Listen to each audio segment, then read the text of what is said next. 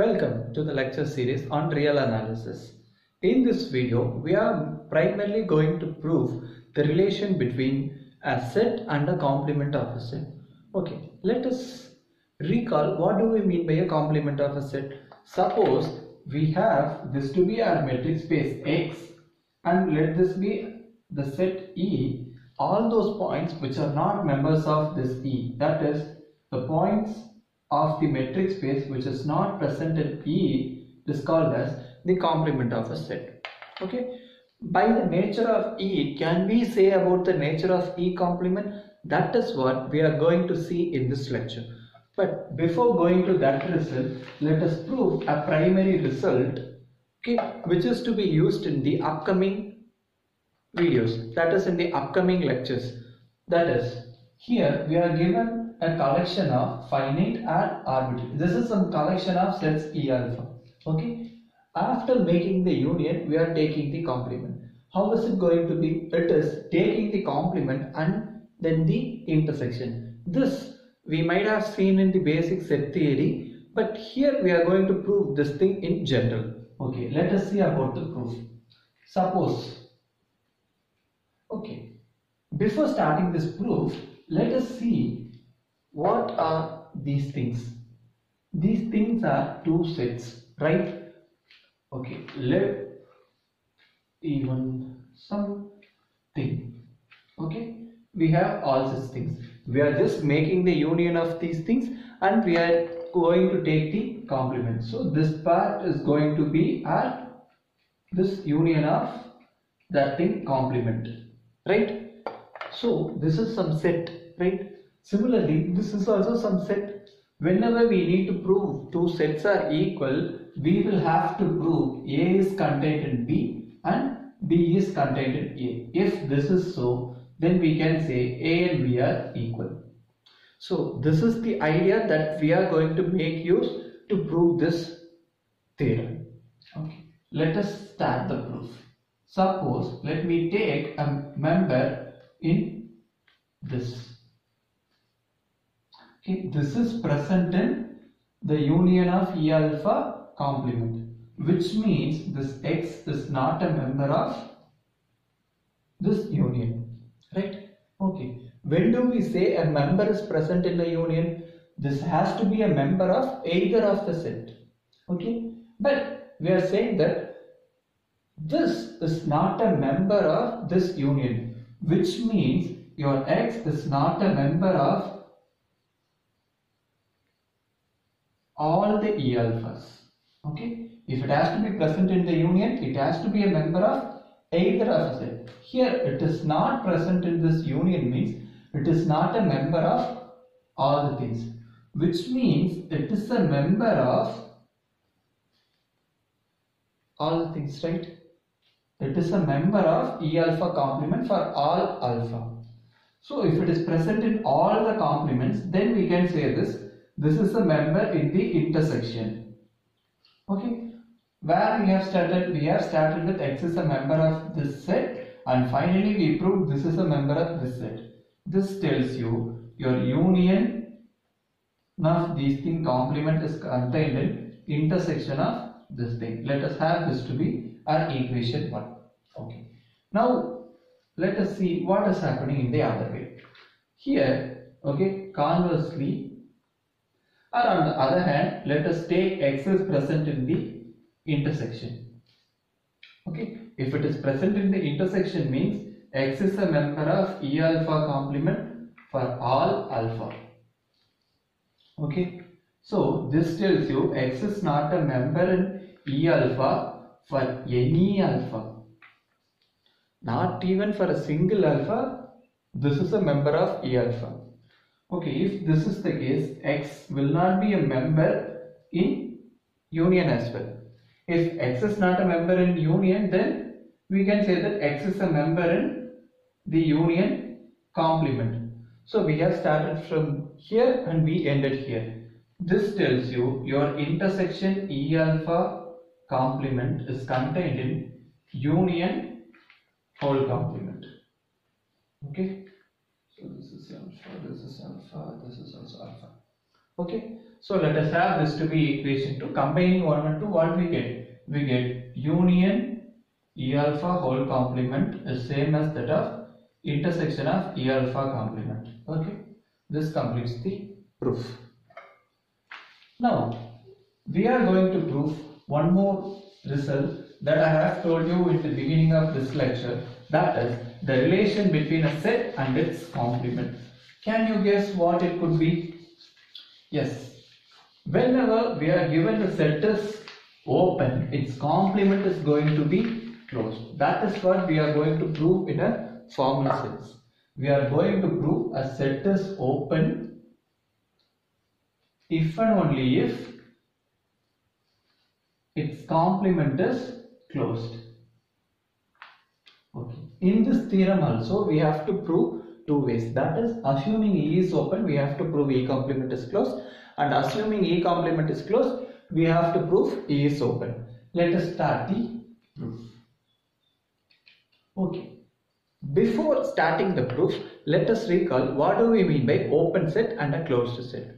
Okay. Initially open set. What do we mean by an open set? Whatever may be the set. Suppose this is a set E. Okay. In the metric space X. For all the points inside the E, we must identify some neighborhood that is completely contained in E which means all the points of this E has to be interior points of E. Okay. Next, in order to say some set is closed, all the limit points of that set is a member of that set. Okay. These are the definitions. In order to check the limit point, what should we do? We have to identify all possible neighborhoods of that point and we have to check whether we have some other point of the set is present inside the neighborhood or not. And one more thing, in order to be a limit point, it may be a point of a set or may not be a point of a set. If all the limit points of the set is present inside the set, then we can say that set is closed. Okay.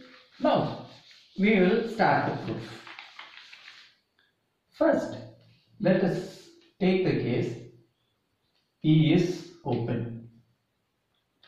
Assuming E is open, what should we do? We have to prove E complement is closed. In order to say E complement is closed, what should we do? Yes. Suppose X is a limit point of E complement, then we need to prove this x is present in E complement. In order to say x is present in E complement, we may also say that x is not a member of E as well. Okay. How are we going to achieve it? Okay. Since x is given to be a limit point of E complement, we have uh, there is a point of E complement in the sorry in all possible neighborhoods in neighborhoods of x with any radius okay this is a member of some point of e complement is present in the neighborhood of x which means uh, let us say that this neighborhood is n okay if this is so your n has some point of E complement. Okay, some point of E complement is present in n. Therefore, this n is not completely contained in E, right? So here we are saying that this is true for all the neighborhoods. So no such neighborhood is satisfying the property that that is completely contained in E. This tells you what? Your x is not an interior point of E.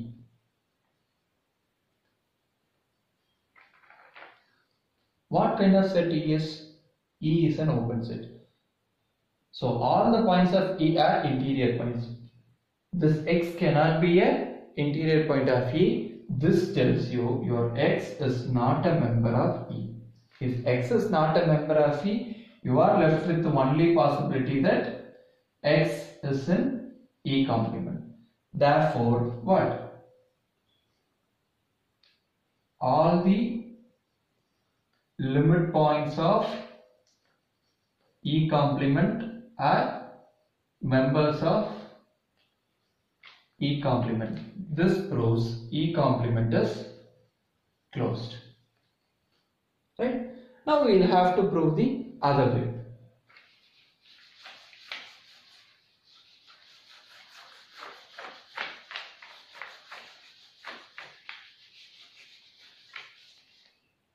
So in order to prove the other way, what are we going to do? We are going to assume E complement is closed. Okay. Then we are going to prove E is open. Now what should we do? We have to prove all the points of this E are interior points. Okay. How are we going to prove some points are interior points of E? We have to identify some neighborhood, at least one neighborhood of the point which is completely contained in E. Okay. Now let us take uh, X is a member of E. This tells you X is not a member of E complement. Right? If X is not a member of E complement, X cannot be a limit point of E complement because this set is closed.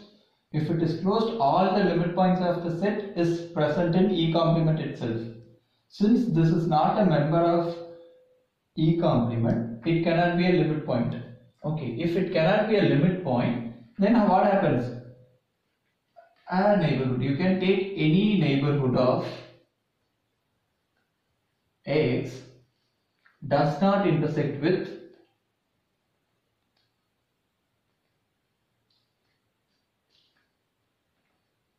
E complement. What do we mean by does not intersect with E complement? That is, if you choose this neighborhood n, okay, let us name the neighborhood as n, this n intersection E complement is going to be empty. Because if this is a limit point, okay, if this is a limit okay let me choose somewhere here okay. If this is a limit point of E complement in all possible neighborhoods of that x we will have some point of E complement. Here it cannot be the limit point which means it must not have at least one point of E complement in this neighborhood. So if it has to be the case then the x that we have chosen must be inside this E so that when you take a, even if you take a very small neighborhood that is completely contained in this E itself. That is the intersection is going to be empty. When the intersection is empty E this clearly tells you that N is completely contained in E. So where we have started we have started with X is a member of E and the neighbor some neighborhood of X is completely contained in E which tells you x is an interior point of E. The choice of E, choice of x was arbitrary and we prove it is an interior point of E. Hence, your set is open. This completes the proof of this theorem. Okay. Here what we have proved? We have proved E is open if and only if E complement is closed. What happens if a set is closed? This is true if and only if F complement is open. Okay, this is a corollary to this theorem. If you want to write a formal proof of this theorem, then you may choose your F to be E complement. Okay, so that your F complement becomes E and you can apply the same proof and you can prove this. Okay. In this lecture, what we have proved is that we have proved a relation between intersection and the uh, union with the help of a complement idea and then we proved a set is open if and only if as its complement is closed. Okay, thank you for watching this video. If you have any queries, you can post it in the comment section. That will be clarified within 24 hours of time. Thank you.